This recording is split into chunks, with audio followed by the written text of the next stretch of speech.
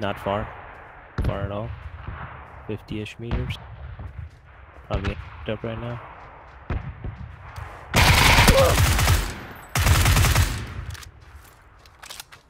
Damn. That'll do. Fucking UMP, dude.